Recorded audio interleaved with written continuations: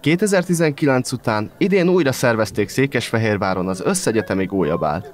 A hagyomány a Covid-járvány miatt szakadt félbe, majd az energiahelyzet gátolta a tavalyi évben a megszervezést.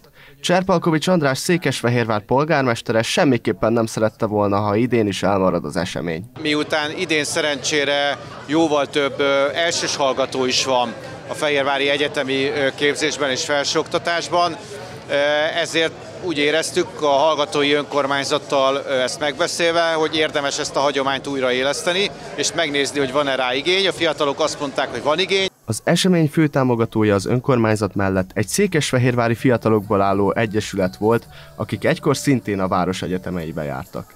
Zámbó László Áron, a Ponton Egyesület elnöke az első gólyabálok szervezésében is aktívan részt vett, és szerette volna a mostani gólyáknak is megadni a lehetőséget, hogy egy közös bálon érezzék jól magukat és ismerkedjenek. Mi fontosnak tartottuk, hogy ezt a hagyományt újra élesszük, már csak azért is, mert mi a Ponton Egyesületnek a tagjai is mind Székesfehérváron voltunk egyetemisták, ezért pláne a szívünkön viseljük a székesfehérvári hallgatói életnek az alakulását, és hát ezen kívül minden olyan kedvezés, nagy, kedve, kezdeményezés nagy örömmel támogatunk, amikor a hallgatók keresnek meg minket egy programmal kapcsolatban. Idén kezdte meg tanulmányait az Óbudai Egyetemen Csóka Dorottya is, aki székesfehérváriként mindenképpen egy helyi egyetemen szeretett volna tanulni. Székesfehérváron újonnan nyílt KGK-ra, az Óbudai Egyetemre járok. Ugye most indult először a gazdasági kar, és tulajdonképpen ez tűnt a legjobbnak így frissen indulva, még lehet belőle építkezni. Az esten Bál királyt és Bál királynőt is választottak.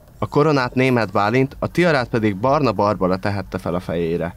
A bál fénypontja Metzger Victoria népszerű DJ fellépése volt, ami nem nagy meglepetésre hatalmas sikert aratott.